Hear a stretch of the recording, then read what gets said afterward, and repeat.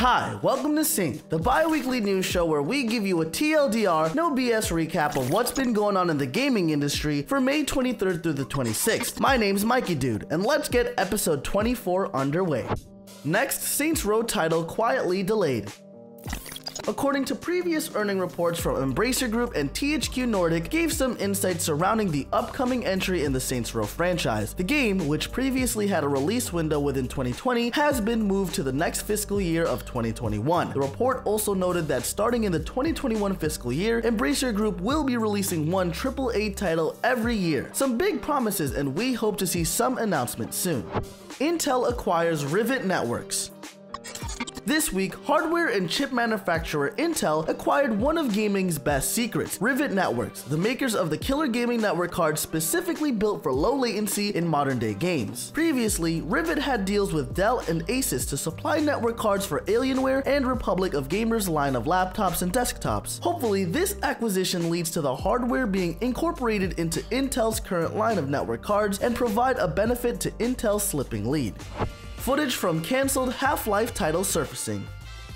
On Twitter, Danny O'Dwyer's Noclip documentary series has begun teasing their new project on Arkane Studios, and as a part of that teasing, they have revealed some footage of Arkane's Half-Life project, which was always known to take place entirely in Ravenholm, the spooky location from Half-Life 2. It can certainly be assumed we will learn more about the history and development of this project inside of the Noclip documentary, so that will be definitely something to tune into, as they are great documentary filmmakers in the field of video games. One thing we know of the title is that it was planned to be Half Half-Life 2 Episode 4, but of course Episode 3 never saw the light of day. EVE Online players faced with alien invasion and all-out war.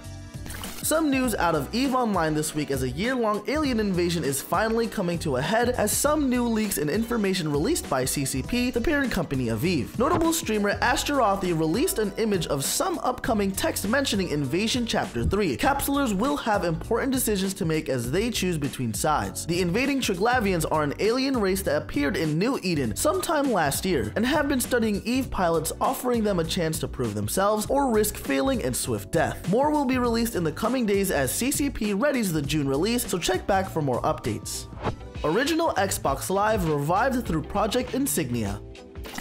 Great news this week for owners of the original Xbox as a Quiet Fan project has brought back the original Xbox Live network. Project Insignia is a full replacement for the Xbox Live service, allowing these consoles to play games without the use of the current workaround of Xlink Kai, a service that uses a networking tunnel and doesn't provide any of the Xbox Live specific features like leaderboards, friend lists, or some network specific features within games like Project Gotham Racing. While this isn't the biggest news out there, it's certainly a marvel to see something deemed dead in the ground be reverse engineered and brought back for the masses. No release date yet, but with how close the project is to completion, it shouldn't be too much longer. Civilization 6 is Epic's new free game. Following their insane acquisition of Grand Theft Auto 5 as a free title, Epic has announced that the next free game they will offer us is Sid Meier's Civilization 6. There are no strings attached here. Simply add the game to your library and it's yours forever. You don't even have to download it within the time frame of availability. For the price of free, any game is a good deal, so we highly recommend heading over to Fortnite Land to at least grab the game if you ever want to play it. Last of Us Part 2 gameplay preview teased. Sony announced in a blog post today that this Wednesday's State of Play will be a treat for fans of The Last of Us with a full showcase of gameplay. The showcase will start at 1 p.m. Pacific and will contain a 20 minute deep dive into the gameplay and mechanics of this highly anticipated title. Roughly 20 to 30 minutes of content is planned with 8 minutes dedicated to never before seen footage from Naughty Dog's newest title. Make sure to tune into Sony's State of Play over on Twitch or YouTube Wednesday and we here at Sync will be watching with you. Nintendo slash Pokemon source code leaks. Another week, another set of Pokemon and Nintendo source code leaks. While last week held the Generation 3 source code for Ruby, Fire Red, Leaf Green, and Emerald, this week came with both the full source code for Pokemon Diamond, which seemed more than enough to keep dedicated programmers busy until later that same day. The full 3DS boot ROM and system code were leaked from 2014. While both of these are proficient leaks, the main benefit of Pokemon Diamond is seeing counterfeit reproduction cards flood the market. While the 3DS leak doesn't hold much new information, the boot ROM code will certainly provide some help to developers working on Homebrew.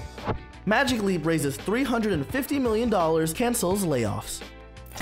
Despite troubles recently, including lacking sales and the stresses most luxury product companies with razor thin margins no matter the market are experiencing right now, augmented reality company Magic Leap has announced that they have gathered another round of funding to the tune of $350 million from both new and existing investors. This allows company CEO Rony Abovitz to cancel the 1,000 layoffs he instituted last month, also with a promise of no more layoffs being planned. This comes after the $2 billion the company has already raised, of course.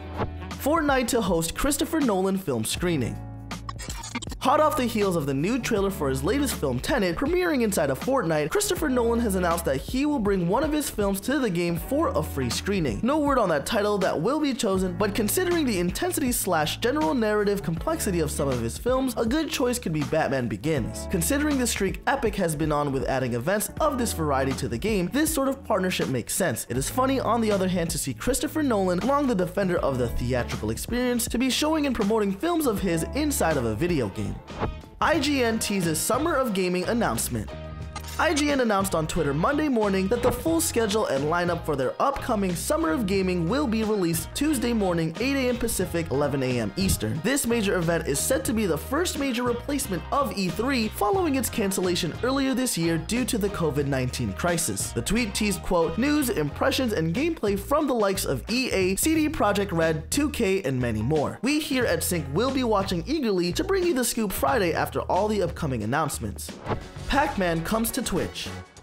Amazon Games and Bandai Namco have teamed up to bring us Pac-Man Studio Live, a new Pac-Man title playable for free through Twitch. The game was created to honor the 40th birthday of everyone's favorite yellow pizza missing a slice. It has multiple modes, including a maze creation mode, a mode to play with others' creations, as well as classic mode, the original Pac-Man experience from the 1980s, minus Quarters and Billy Mitchell. Essentially, we've got Pac-Man's answer to Mario Maker plus the original game, all free on Twitch. Sounds great to us. Massive Sims 4 update coming June 2nd. A massive free update for The Sims 4 is due out next week, June 2nd, and we already got a sneak peek from Sims community in partnership with EA. To start off the new update, it will feature firefighters and repo men, a previous staple of the series that have yet to be included in the newest entry. Then, an updated inventory screen along with free window and door replacement, two massive quality of life changes desperately needed. While the last feature we are aware of at this time is a revamped bills and utility system to hopefully drive a more realistic feel. With Sims 4 being one of the most piecemeal titles, it has slowly grown to be a complete game enriched by community feedback. The new update releases on June 2nd, a few days before the next expansion pack entitled Eco Lifestyle. Halo 3 PC public flighting to begin in June. The flighting process, or rather the public beta testing of Halo 3 on PC will commence in the second half of June, according to a new update from the team at 343 Industries. Some people under NDA are already playing the game, but public testing will open up soon. If you're interested in helping test the game before release, head on down to Halo Waypoint and fill out your insider profile to be possibly selected for a future flight. In other Halo on PC news, the infamous projectile glitch from Halo 2 has been rectified thanks to the hard work of the team. Scott Pilgrim game may return. Just recently, director Edgar Wright and the original comic creator Brian Lee O'Malley took part in a screening digitally of the film of Scott Pilgrim vs. the World, a video game influenced film from 2010. For the 10th anniversary, a 4K restoration has been undertaken, and along with all this Scott Pilgrim hype, O'Malley wrote on Twitter about how they should bring back the Scott Pilgrim game, and Ubisoft, developers of the title, responded with a thinking emoji. The Scott Pilgrim game was released alongside the film, however, just four years later, the game was delisted, possibly due to licensing issues either with the property or the music for the game. Hopefully Ubisoft can work their necromancy and bring back the fan favorite beat 'em up. Valve launches Dota 2 Battle Pass. Dota 2's upcoming events may be postponed, but that hasn't stopped the fan hype around the upcoming International and its paired Battle Pass. Each year, the Battle Pass provides fans with in-game achievements, special game modes, prizes, and ways to level up the pass for even more rewards. This year is no different as the newest feature guilds will allow players to group up and earn points to contribute to different groups. Anyone can join a guild, but only those with a Battle Pass can create them. Then this summer, a special event is teased bringing back the horde mode-like activity known as the Labyrinth, tasking players with clearing it without dying and in small groups with the goal of even more rewards. So much more was announced, so head on over to the link down below to learn more or boot up your Dota 2 client. Risk of Rain 2 aiming to hit version 1.0 by August. Developer Hopoo Games has announced that Risk of Rain 2 will leave early access and hit version 1.0 by August. With that patch, the game will receive numerous improvements such as a dedicated server browser, a final stage and boss, a new playable character, and new items and equipment. This update will not make it to consoles until the fall most likely, as they haven't even gotten to where the game is with the latest update on PC just yet. Media Molecule begins testing Dreams VR. European players of Dreams are in for a special surprise as they can apply to be a tester for Media Molecule for an upcoming virtual reality version of the game. You have to be pre-approved and then you'll spend two weeks with the game and report back to the studio on your experience. You'll earn 200 euros for your trouble or lack thereof possibly. This also checks off one of the big goals the developers have for Dreams, the other being the creation of multiplayer titles in the game. Alright everyone, that's Sync for May 23rd through the 26th. If you haven't subscribed yet but you'd like to, you know where that button is. Lastly, let us know what games you've been playing down in the comments, and once again, thank you for watching and we'll see you next episode here at Sync.